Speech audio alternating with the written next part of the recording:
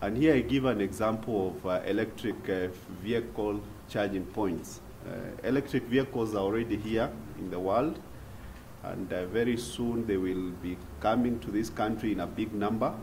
And we expect uh, some of the retail stations, for example, will have charging points for these uh, electric EVs. So we have left it open such that in case a new concept comes out, we don't have to revise the law.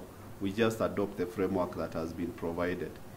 So it is a requirement for you to obtain a license to operate or an approval from the authority to operate this common user facility.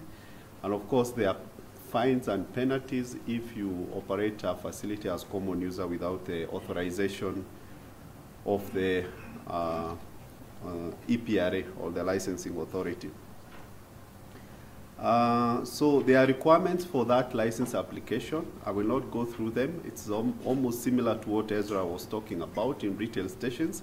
But the requirements, the framework is the same. The requirements may be different, but they're in the schedule. You will look at them.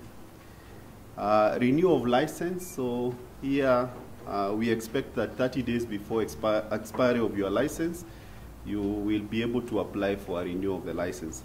And I think the period for licensing, we have to insist, we only consider materially complete documents.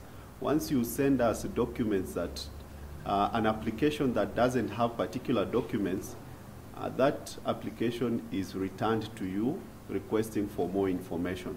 So whenever you find that uh, your licensing license is taking too long, uh, maybe it's because the first time you applied, you did not attach a tax compliance. So normally what we do, our system automatically returns the application to you and sends you an email to alert you.